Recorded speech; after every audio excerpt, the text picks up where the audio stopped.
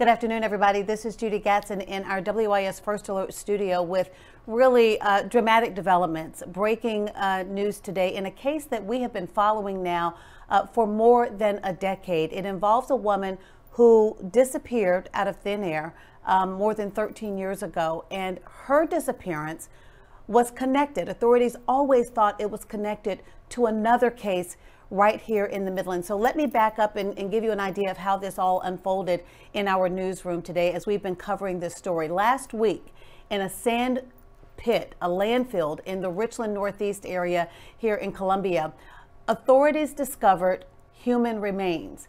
And anytime that happens, obviously in the newsroom, we think about missing persons cases. Of course, it could be a brand new case that we had not even heard of. But in this instance, we immediately started looking back to see which cases were unsolved. We were waiting to get new information from authorities, and we were hearing that it could be connected to a case that we had covered some time ago. So, over the course of the last week, authorities have been ex- excavating really uh, what was described as a shallow grave where these human remains were found, where bones were found uh, in the northeast part of Richland County. And it's a huge area. We've got some video from that scene. One of our reporters, Naomi Popa, has been on this story today. Derek Rush is jo- joining our live team coverage. But they've been out there talking to investigators and anthropologists brought in, obviously, after the remains being there for so long, um, some real forensic work required to identify these remains. So we were in our newsroom today in the middle of an editorial meeting when the coroner held her news conference on Friday afternoon to reveal the fact that the remains have been identified of a woman named Adriana Laster. And that name immediately rung a bell in our newsroom because we remembered this case so vividly from back in 2012. It was that long ago when we first heard her name. And it was in connection with the search for a local teenager who had been missing. So let me take you back to August of 2012 a teenager by the name of Gabby Swainson was missing. There was a search all over Northeast Richland County for Gabby. What happened to Gabby? She was at her home, mysteriously disappeared. Some of her things were left behind. It did not meet the requirements for an Amber Alert. That was a bit of a controversy at the time uh, because obviously it's a young girl, it's a teenager who's missing um, under suspicious circumstances, to say the least. But there was a search, and law enforcement amplified that search. Um, search parties organized by the family went out, searched all over the area, trying to piece together clues in Gabby's disappearance. Well, ultimately, a man named Freddie Grant admitted to kidnapping and murdering Gabby. And he was arrested in connection with some weapons charges. There was a deal made. Um, there were a lot of complicating factors in that case. But the point being that when Freddie Grant was identified as a suspect in Gabby's case, investigators all along thought he was a suspect in the disappearance of Adriana Laster. So when we think about what we've learned about Adriana's case years ago, when authorities were investigating, trying to make a connection to Freddie Grant, one thing they told us was that the last person she was seen with was Freddie Grant. They told us that she had been in a relationship with Freddie Grant and was living with him. Apparently, the relationship started uh, in Miami and she moved to Columbia with him. According to her sister, who talked to us at the time about her sister's disappearance, she said that her sister, that Adriana told her that Freddie Grant beat her.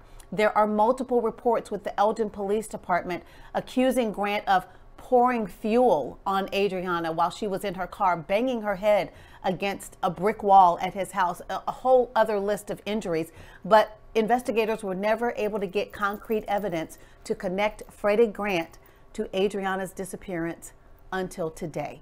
And that is when they revealed that the bones, the remains that were discovered in this sand pit have been identified as Adriana Laster. And so, according to Richland County Sheriff Leon Lott, Freddie Grant is now going to be charged in this case. We're checking with the solicitor's office. We'll have the latest on that on WIS. But it is just um, chilling to think after all of this time. And I can't help but think about her family. Uh, her sister was quoted as saying that after her sister's disappearance, every night she would lay down wondering if her sister was okay, wondering if her sister was alive, wondering if her sister would make her way home. And she says that she kept playing their last conversation in her head over and over again, asking her sister to just come home. Um, we're working to make contact with her family. When we were working on this case a number of years ago, her sister lived out of state, so we haven't been able to make contact with her just yet. Obviously, before releasing this information to the media, the authorities have been in contact with her family. And, um, you know, there's really nothing that can mend a grieving heart, but you have to just hope that this discovery, this official confirmation of these remains gives them some measure of peace, some measure of closure. And on WIS, the Richland County coroner is going to be doing an extensive one-on-one interview with us to talk about the forensics of this case. They're still excavating that landfill, by the way, to just make sure they have collected all of the evidence. And as you look at the pictures of the landfill in the area that has now become a crime scene, um, you can see what a massive project that is for them. So the coroner is going to walk us through that. We'll be sure to share that content with you as well. But to talk about the work that her investigators have done uh, during the news conference early Friday afternoon, she talked about the fact that they've had to work in very difficult elements uh, in the Richland County and Columbia area. We've had very cold weather, we've had very rainy weather, so it has been a complicated task to say the least for the recovery of these remains. And they want to make sure that they have gone through that area with a fine tooth comb. And according to one of our reporters earlier, the area where these remains were found was in what has been described as a shallow grave. We're going to get some clarification from the coroner when we speak with her in our one on one interview, but about the forensic process that was involved in 13 years later being able to make a positive ID in terms of uh, the identity of these human remains and finally bringing some closure to this case that has been a mystery in our community for so long. We're also told that the Elgin Police Department, Elgin, for those of you who are not from this area, it's a small community. It's a very close knit community. S- strangers showed up to search for Gabby and even for Adriana, you know, and people who lived near Freddie Grant, where Freddie Grant and Adriana lived, neighbors back then told us that they reached out and tried to help in some way. And, um, you know, domestic violence has for a long time been such a serious issue here in South Carolina, and it's so complicated um, when you're reaching out, you know, and wanting to help someone get out of an abusive situation. And there's so many mitigating factors. One of them being that, according to the Elgin Police Department, when she filed, when Adriana filed uh, these police reports against Freddie Grant, uh, according to investigators, she was three months pregnant. So obviously, um, just a lot of emotions in play, a lot of extenuating circumstances that may have played into her decision um, not to accept those offers for help or to maybe just feel like she couldn't. Um, it's hard to know what was in her mind at the time, but um, we certainly are hoping that her family, just knowing um, that they have some measure of closure, uh, is bringing them some measure of peace tonight. It's really hard to kind of reconcile in our own minds that a case that we've been following for so long to have these breaking uh, developments today, such dramatic developments today, um, knowing that it is connected to a case that we have been covering for more than a decade.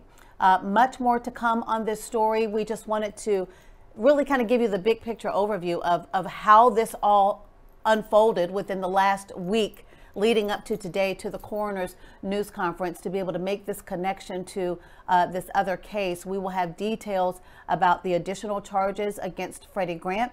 We will have more details about the discovery, what has been collected uh, at the sandpit in terms of evidence so far, how long that operation will last, and the forensic process that the coroner's office has gone through to make this positive identification and how that is all going to come together to make the case now 13 years later against Freddie Grant in the disappearance and the death of Adriana Laster. So that is the latest from the WIS First Alert News Center. I'm Judi Gatson. Keep it tuned to WIS TV to all of our platforms for the latest on this story. As we get new information, we will certainly keep you updated and uh, hoping to have reaction from her family as well and certainly new information as we get it from investigators. Thanks for joining us this afternoon and more news as it comes on WISTV.com.